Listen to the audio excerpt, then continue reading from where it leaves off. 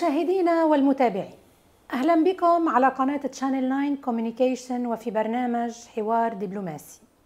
نستضيف اليوم السيد فادي عبود وزير سياحة لبنان سابقا.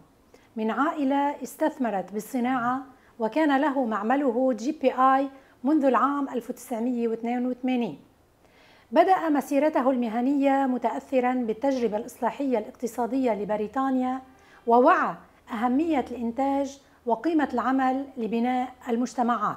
تابع التجارب الاقتصادية الناجحة حول العالم ليستقي منها حلولا لبناء اقتصاد منتج في لبنان. يدير معامل إنتاج صناعي وغذائي في لبنان ويصدر منتجاتها إلى أوروبا والدول العربية وإفريقيا. رأس جمعية الصناعيين اللبنانيين منذ العام 2002 إلى العام 2010 وقدم رؤية لتحفيز المستثمرين المغتربين ودعم القطاع الصناعي في لبنان. انفتح بفعل تجارته على التعاون الاقتصادي بين بريطانيا ولبنان ودول إفريقيا ودول أمريكا اللاتينية وساهم في تنمية المجتمعات والأسواق التي عمل بها. السيد فادي عبود مواكب لأحدث التطورات العلمية الاقتصادية ويحاول تبنيها حوكمة وصناعة لتلبية حاجات السوق وهو مبادر لاعتماد مبدأ الشفافية في الإدارات ويشكو غياب المشروع الاقتصادي عن العمل السياسي في لبنان. صدرت له مجموعة من الكتابات في الصحافة المكتوبة اللبنانية جمعها في كتاب أسماه لو سمعوا من فادي معالي الوزير فادي عبود أهلا وسهلا بك. تشرفني في برنامج حوار دبلوماسي. شكرا. نبدأ حوارنا من حيث درست. تعلمت الاقتصاد في بريطانيا في جامعة ويست مينستر وتواجدت هناك في فترة شهدت إصلاحات كثيرة غيرت وجه الاقتصاد البريطاني. حدثنا عن هذه التجربة وتأثيرها على تفكيرك بأهمية الإصلاح الاقتصادي. بالواقع أنا رحت على لندن سنة ال 75 والسبعينات كانت يعني فترة ببريطانيا الاقتصاد منهار الصناعة عم تنهار اضرابات رهيبة يعني. حتى وصلت الاضرابات إلى الاطفاجية اطفاء الحريق الفاير بريجيد وكمان حتى النرسات يعني. كان في اضرابات وكان القطاع العام كتير متأثر يعني بباقي أوروبا وبالواقع كانت يعني الصناعة البريطانية انهارت إلى حد ما. طبعا عشت الفترة اللي حكمت فيها مارغريت ثاتشر وواكبت هالموضوع هيك يعني إذا بدك بالتأثر إنه كيف قدرت لأنه تقريبا كانوا يعني give up استسلموا. رجعت شفت إنه ممكن إعادة يعني كسرت جوانح القطاع العام البريطاني يلي بالحقيقة يعني كانت إنتاجيته الأسوأ من الأسوأ في في أوروبا. ورجعت بريطانيا وقفت على على اجريها بنرجع بنشوف يعني السيارات اللي كانت مصنعة بالسبعينات ببريطانيا كان يعني الكواليتي النوعية تبعها جدا يعني أسوأ من من من كل أوروبا. فبعتقد شجعت الاستثمار الاستثمار الأجنبي. وطبعا الوجود الياباني بعدة مصانع بإنجلترا نيسان وغيرها أعطى كمان يعني إذا بدك نظرة جديدة للإنتاج يلي اليابان رائدة فيها. وبالتالي كان أول مرة مثلا بنشوف تشيرمان تبع تبع شركة إنجليزية عم بيتغدى بالكافيتيريا مع العمال. هيدي شغلة ما كانت دارجة كثير ببريطانيا. بالطبع هيدا الشيء يعني ضل بذهني. وقلت بركي يوم من الأيام بنقدر نطبق هالشيء بلبنان. أسست شركة General Packaging Industries GPI في لبنان عام 1982 انطلاقا من حاجة الأسواق التي تتعامل معها إلى مواد التغليف. وأصبحت شركة رائدة بالتجارة الدولية. آه، تصدر شركة GPI منتجات التغليف من لبنان إلى العالم العربي وأفريقيا وأوروبا. حدثنا عن نجاح هذه الشركة وعن تحدي المعوقات. بالواقع يعني كنت ببريطانيا وكان عندنا أشغال ببريطانيا وماشي الحال. بس ما تصورت حالي إنه رح فك ارتباطي بلبنان. ربما هذا القرار آه، اقتصاديا ما كان قرار كتير ذكي. ولكن خاصة إني تجوزت 86 من من مرة أجنبية. أرجنتينية والولاد خلقوا هونيك وعاشوا هونيك. يعني ما كان عندي سبب إلا العاطفة. إذا إذا صح التعبير يعني عاطفة بين هلالين بإني أسس شغل بلبنان. بالواقع آه نحن مصلحة العائلة نعمل أدوات مطبخية طناجر وبأفريقيا بغانا وبنيجيريا.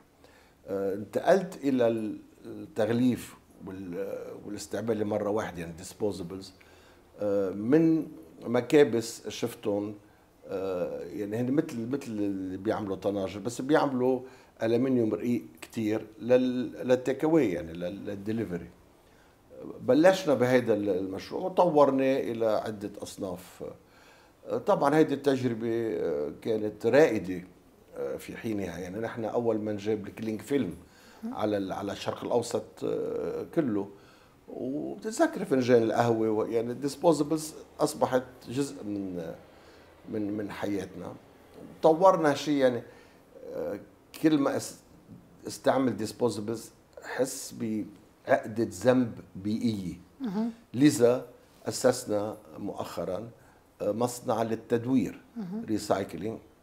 لقناني المي لل PET وكل أنواع آه، البلاستيك. شوفي البلاستيك قد يكون من اذكى اختراعات اللي عملها بني آدم. ولكن ولكن ولكن إذا تم تدويره إذا ما تم تدويره يعني بتصير اسوء شيء. وهذا اللي عملته لأنه عرفت إنه مع بدعم من ال UNDP وفي سياق التوجه البيئي بدأتم تدوير البلاستيك منذ العام 2020 ولكنك قبل ذلك بكثير. ومع شركتك البريطانية Plastic Engineering Projects الموجودة بلندن ساهمت بتدوير المصانع وتوريد الآلات المستعملة من بريطانيا باتجاه الدول الأقل تطورا في إفريقيا وأمريكا اللاتينية. وساهم ذلك في نقل التكنولوجيا وتنمية اقتصادات هذه البلدان. هل ثمة تجارب يستفيد منها مشاهدونا؟ طبعا هذا الشيء هيدا آه، بلش وقت كنا عم نشتري مكانات لأفريقيا. آه، وأنا كنت بعدني يعني تلميذ رحت على أول مزاد علني آه، ببرمنغهام. واشتريت مكابس كبيرة. هاي في منها كثير هالمكابس لأنه بالمبدأ آه، الإمبلي أو الشل تبع الإمبلي تصنيع مثل تصنيع الطنجرة صحيح. إلى حد ما يعني. فكان في كثير من هيدي بس في فرق كثير بال بوجهة الاستعمال. ولكن المكنة آه، بعض المكنات يعني بهالصناعه مثل فكان عندهم يعني كثير من هالمكابس بلش بشراء لحاجاتنا بمصانعنا نحن. وهالشيء آه، تطور آه، لبيع يعني مصانع كين هاند يعني نعطيهم المصنع والقوالب وحتى التكنيشنز يلي كانوا يشتغلوا بالشركة يروحوا تيركبوا المصنع والى آخره. هيك كانت تجربه مربحة ورائدة يعني بهيداك الوقت بعنا عدة مصانع آه، لأفريقيا وحتى للأرجنتين. آه، والمنطقة هون سوريا مصر آه، لبنان. نبيع يعني المصنع مع ال know-how مع شركة General Machines and Metal Processing Company Gemco تنتج سلعا من معملك في لبنان. وكان لعائلتك معامل سابقا في غانا ونيجيريا؟ وهذه السلع لا يمكن لأي منزل في العالم الاستغناء عنها مثل الطناجر والجوت والسطول. وتلزمك اللمسة الأخيرة الاستعانة بالمنتجات البريطانية للمسكات والتباشيم أو البراشيم. وهنا تتضح أهمية التعاون التجاري ليصل المنتج لشكله النهائي ما أهمية أن تؤمن حاجيات أولية للأسواق والمجتمعات؟ بالطبع يعني عادة اللي بيصنع الطنجرة مش نفس المصنع اللي بيعمل المسكات. أو الريفتس التباشيم اللي بتركب المسكة. فهيدي كانت التجربة آه، مصانع افريقيا بدأت كان عندنا جامكو يلي بتعمل الطناجر بلشت هي كمصنع لخدمة مصانع افريقيا يعني لنعمل فيها المسكات. لنعمل فيها التباشيم والأهم لنعمل فيها القوالب وبالواقع بس يعني الحرب نحن بلشنا آه، جامكو بلبنان بال 72 فعملوا قسم كبير من المكانات اللي راحت على نيجيريا كانت مصنعة بلبنان والقوالب مصنعة بلبنان. صار اللي صار انتقلنا إلى إلى قبرص لمدة بسيطة. وبعدين بما اني أنا كنت بانجلترا آه، صرنا نصنع آه، مسكات وتباشيم بانجلترا وقوالب الأهم القوالب لمصانعنا ولغير مصانع كمان كنا نبيع يعني لغير مصانع. وكانت هيدي التجربه ناجحة. آه، بالطبع يعني الأكلاف بأوروبا مرتفعة جدا نسبة إلى الاكلاف خاصة بالأشياء اللي اللي منا أوتوماتيك يعني فيها آه، صناعة يدوية. بس على مده لكننا يعني لأنه نحن بالثمانينات بأوائل الثمانينات بعنا آه، بالأول غانا وبعدين نيجيريا. بعتقد كان خطأ استراتيجي. وبقينا يعني المصنع بإنجلترا ضل يبيع مصانعنا والمصانع الأخرى يلي بتعمل طناجر. أما بلبنان فطورنا. بطلنا بس بالطناجر صرنا نعمل كثير من أدوات المطبخ يعني من منقرة الكوسة لمصفية الشاي للشفاطه هي بيمسحوا فيها الأرض. في عنا أصناف كثيره بالأدوات المنزلية. وهيدي آه، مفروض إنها تتطور.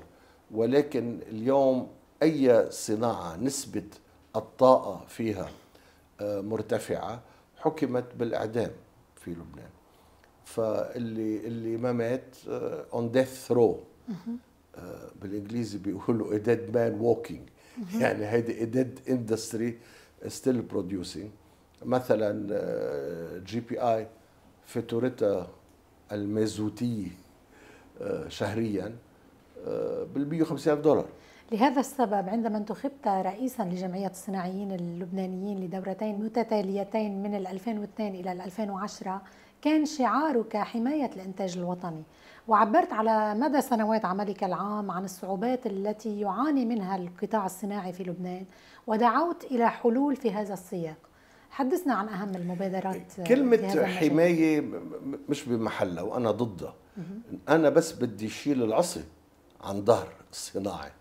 لأنه بالواقع لا للبلدان يلي لليوم لليوم. طبعا حسنا قدر الإمكان بس اليوم في عداء للصناعة اللبنانية. يعني المصدر في كل بلاد العالم يعتبر بطل. فعندنا كثير مشاكل لأنه اليوم وصلنا برأيي نحن من أسوأ آه، إنتاجية في في العالم.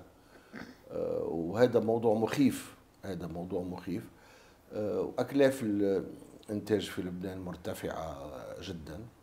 وكل الاقتصاد مش راكب تركيبة إنتاج.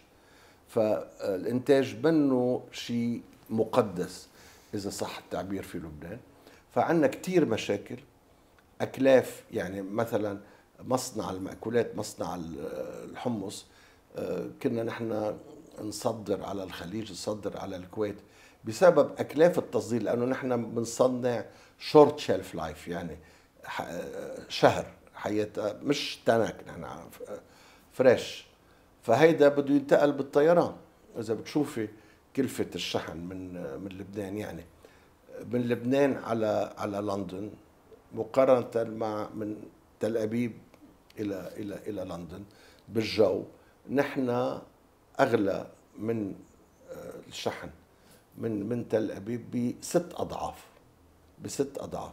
سو حكمنا على صناعات المأكولات اللبنانية بالإعدام. آه، شوفي اليوم مثلا لو عندنا نحن خدمة بريد بتقدر تحطي فيها 2 كيلو بقلاوة وتبعتيهم لأي مطرح بالعالم أو قنينة زيت زيتون أو شوية زيتون مكبوس أو محشي ورق عنب. وتحطيهم بتوضيب معمول خصيصا يعني. وتبعتيهم بكلفة معقولة. هلا يمكن فيك تعمليها عن طريق البريد السريع. صحيح. ولكن الكيلو عن طريق الشحن ولكن إيه 50 كتير 60 الأكلات دولار صحيح. إذا أنا قدرت أخذتها على على ال post office على على البريد وتصدرت بثلاث أربع دولارات مثل ما في خدمة بريد بكل بلدان العالم هذا الموضوع كم فرصة عمل بيخلق بلبنان؟ بالألوف بالألوف. وعملية اليوم الأكلاف يعني في بعض الأحيان الأكلاف وضع المستوعب على ظهر البابور أغلى من شحنه من لبنان إلى إلى إلى بلد آخر. آه، فكل التفكير الاقتصادي بعيد كل البعد عن الإنتاج وعن فكرة تنافسية ال- البلد. يعني نحن بلبنان موقعين تجارة حرة آه، مع العالم العربي. حرة يعني بنعفي من كل الجمارك ومن رسوم الترانزيت اللي هلا رسوم الترانزيت آه، مثلا آه، من سوريا من هي الأغلى في في العالم. وبالطبع لبنان مش عم بياخذ إجراءات لا وزير النقل ولا غيره إنه كيف بدنا نحل مشاكلنا إن كان مع سوريا أو مع السعودية اللي مانعة البضائع ال- اللبنانية. موضوع خلص بصير روتين ما حدا بيهتم فيه. فبالتالي الجو الاقتصادي كله في في لبنان فكرة الإنتاج والتنافسية مش موجودة بذهن أي مسؤول بالقطاع العام من أكبرهم لأصغرهم. في مرفق بالعالم ما بيشتغل 24 24 مرافق العالم كلها بتشتغل 24 ساعة شوف م- مرافق أوروبا. نحن بيفتحوا من 8 تيقلعوا يمكن لل للتسعة الساعة 2 بي- بيسكروا. وكل الأعياد الرسمية بي- بيسكروا. هيدي شوفي كلفتها على على على الاقتصاد. آخر السنة بنحكي بمئات الملايين من الدولارات. الميكانيكي يلي هيك ايديه مجويين تحت ضفيره في شوية شحم يعتبر مواطن درجة ثانية أما بألمانيا وبكل الاقتصادات بال- باليابان التقني محترم مثله مثل الطبيب مثل المحامي يعني له احترامه نحن ما تعلمنا هالشيء علما إنه اليوم الميكانيكي آه، في لبنان السنجري في لبنان بأكد لك عم بيطالع أكثر ما عم بيطالع يعني صاحب المهنة الحرة. ولكن بعدنا ك ك كمجتمع آه، ما عندنا الاحترام اللازم للصناعة. سيد فادي عبود كنت وزيرا للسياحة في حكومتين متتاليتين منذ العام 2009 وحتى العام 2014 وكانت لك خطة قدمتها لوزارة السياحة عام 2009 بعنوان نحو صناعة سياحية. آه، تضع هذه الخطة لبنان في مركز سياحي يستحقه. آه، هل شرحت لنا أبرز بنودها؟ لأننا نعرف أنه لم يطبق منها إلا النزر اليسير. بالواقع لم يطبق أي شيء. آه، أهم نقطة بال- بالسياحة هي النقل. كيف بده يجي السائح على على لبنان؟ اليوم إذا بتشوف الشركات العالمية لي شركتنا الوطنية يلي المفروض نحملها عرموش عينينا. خدي أي شركة أجنبية. قارني بين آه، سعر التكت إلى بيروت والى تل أبيب مثلا أو عمان أو القاهرة أو اسطنبول أو أو قبرص آه، لارنكا. وشوف الفرق بال- بالأسعار. ال tickets. ال tickets على على لبنان فرق كتير كبير. وعلما إنه نحن موقعين على الحرية الرابعة والحرية الخامسة وبالتالي المفروض نحن نكون سوق مفتوح. ماذا يعني التوقيع على الحرية الرابعة والخامسة؟ يعني حتى الطيران مثلا ال Emirates إيه. رايحة على لندن via بيروت. مفروض إنه ينسمح لها تحمل ركاب من بيروت على على لندن أو على أي اتجاه آخر. آه، ما عم نطبقهم. في فترة زمنية يمكن كنا بحاجة إلى حماية شركة الطيران الوطنية اللي قدرت توقف على أجريها. وطبعا قد تكون الشركة الوطنية هي أهم شركة في لبنان. ولكن منا أهم من لبنان. فنحن بموضوع النقل آه، مفروض إنه نعيد النظر بسياسة النقل ونطبق الحريات ونشجع ال low cost. ربما بمطار آخر غير مطار بيروت بس ضروري يكون عندنا شركات مثل easyJet و Ryanair عشرات الشركات. أول شيء النقل مثل ما قلنا شغلة مهمة إن كان آه، برا بحرا وجوا لازم يكون في عندنا خدمات نقل إلى لبنان بالمستوى المرتب والسعر التنافسي. بعدين الموضوع يعني الرحلات يعني السائح الأوروبي تحديدا بس يجي على على على المنطقة. يعني ما راح يجي على ديستنيشن وحده يعني المفروض يكون عندنا نحن مثلا زيارة مصر زيارة الأردن وزيارة لبنان أو لبنان وسوريا. هيدي الرحلات يلي مدفوعة مع الفنادق وإلى آخره. شبه آه، معدومة مش موجودة بقى بلبنان. هيدي يعني يجب تنميتها. طبعا الوضع يعني آه، مع الترافل ايجنسيز لا الوضع الأمني الوضع صحيح. الأمني بالمنطقة ما ساعد كثير ل 2010 اللي كان فيها وضع أمني مقبول كانت أهم سنة سياحية في تاريخ لبنان. مثلا موضوع التزلج. يعني نحن مركز تزلج حول منا 200 300 مليون بني آدم. المركز الوحيد للتزلج يلي مفروض إنه أقل الإيمان ربطه ببعضه. يعني نبلش مثلا من الزعرور نربطها ببكيش نربطها بكفر دبيان آه، بتلة المزار إلى آخره للارز ومفروض يعني مثل تروافالي إذا بدك آه، بفرنسا. ومفروض نطور كثير عملية التلفريك لأنه لا المواقف ولا الطرقات فيها تستوعب آه، خاصة إذا زدنا يعني. حتى اليوم بنهار تأس حلو بالويك ما فيك تصالي على مراكز التزلج تقول معاليك في مقال لك عن اقتصاد المعرفة أن القدرة على الابتكار هي التي ستحدد تنافسية الدول آه، في المستقبل. وأسست المرصد اللبناني للشفافية عام 2012 معتبرا أنه على اللبنانيين أن يبتكروا في هذا الإطار. هل شرحت لنا أكثر؟ شوفي آه، إذا بدك تختصري قصة حياتي بالقطاع العام فيك تختصريها بكلمة الشفافية. والمحاولات الحثيثة يلي يلي عم بعملها لأقنع المجتمع بالأول أنه الشفافية ضرورة لتحديث آه، أنظمة آه، لبنان لتحديث الإجراءات الإدارية في في لبنان وحتى بحياتنا السياسية. آه، قديش نجحت؟ مش كتير. لأنه بالواقع كل يعني التركيبه كلها بلبنان مبنيه على الرماد في العيون. آه، والاحتكارات. يعني آه، لبنان ويب متكامل من الاحتكارات الرسمية والخاصة. الخاصة بموضوع الوكالات الحصرية. كان يجرم أي إنسان يستورد شغله لها وكيل حصري. كم تعديل الوكالات الحصرية؟ كم تعديله بس ما هو انتبه. تم التعديل ولكن ليس بالشفافية المطلوبة. حتى اليوم اللبنانيين ما بيعرفوا الحسابات المدققة تبع المصارف. كنا فك المصارف اللبنانية من أهم المصارف بالعالم لأنه كان في نقص بالشفافية آه، واضح وصريح.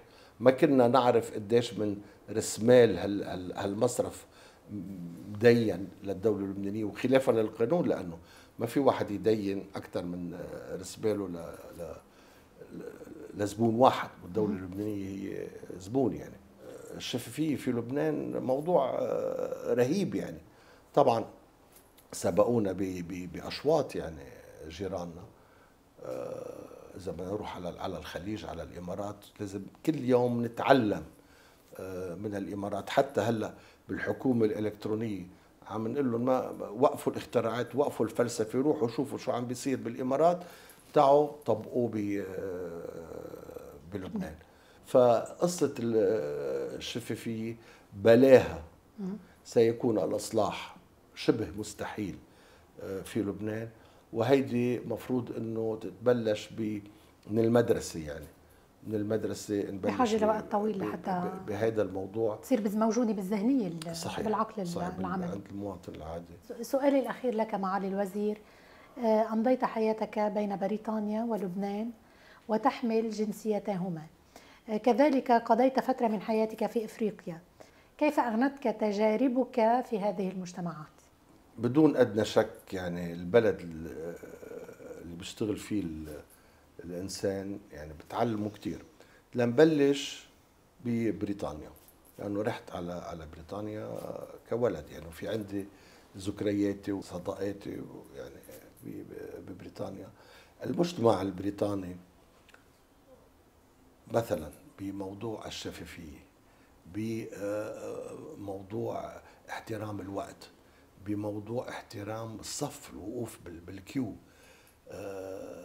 كل هالمواضيع اجتماع مثلا الساعة 10 بدك توصلي 10 ل 5 هودي كلهم آه، يعني أثر فيه كثير المجتمع البريطاني. وحتى بالإعلام ودقة نقل الخبر إلى آخره.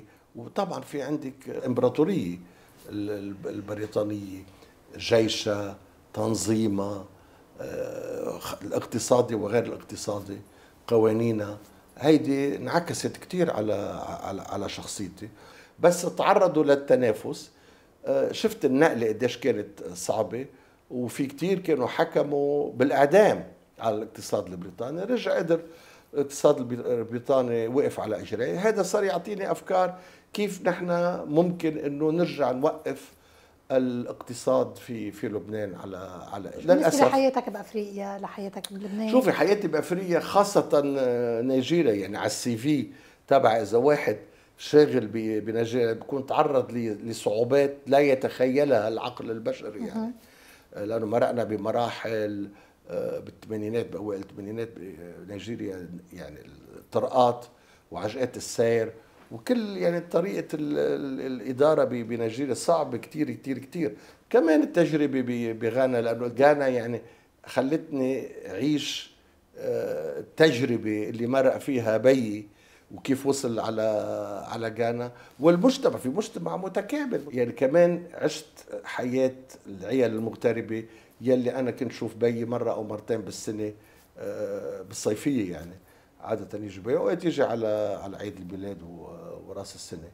فهيدي كمان تجربة آه، مهمة ومهمة على اللبنانيين يعني يعطوه حقه للمغترب. طبعا شوفوا شو عملنا فيهم مؤخرا. جانا عمرهم كلهم كانوا يحطوا بالمصارف اللبنانية وسرقناهم. حياتك بلبنان شو بتخبرنا عنها كمان هيك؟ كل يوم على بكرة بكون عم بحلق دقني بحكي مع حالي على المراية. شو جابك لهون؟ قاعد بانجلترا شغلك كتير منيح. شو جابك لهون؟ أحلامي هل الإنسان بيشعر بالانتماء؟ هل هيدي القصة يعني تاريخ وحضارة و يعني بعدني لحديت هلأ آه، يعني إذا كنت بانجلترا ثلاث أربع أيام ما أكلت طبخة لبنانية بحس آه، حالي مزعوج. عرفتي كيف؟ من ناحية يعني ما فيش عيش مثلا آه، شهر بلا منقوشه بحس شيء ناقص آه، بحياتي. فبالتالي هذا موضوع يعني عاطفي. وطبعا حبيت إني أجرب طور هذا البلد وما نوصل لمطرح ما وصلنا له. وبالتالي ليش هلأ بعدني موجود هون ومش متقاعد وعم شم الهواء موجود هون لأنه بعدني عندي أمل إنه نقدر نرجع نوقف هالبلد آه، على اجريه هذا البلد من في إمكانية يكون آه، بلد مميز آه، جدا. كل يوم هالأمل عم بخف شوي. إن شاء الله أقدر أرجع عيشه من جديد. إن شاء الله. مشاهدينا والمتابعين نختم حلقتنا بالأمل بغد أفضل للبنان والعالم. في هذه الحلقة كنا مع ضيف مميز هو الوزير السابق فادي عبود. تحدثنا في الدبلوماسية الاقتصادية وجلنا بين آسيا وإفريقيا وأمريكا وأوروبا. نلقاكم في حلقة مقبلة من برنامج حوار دبلوماسي. تحياتي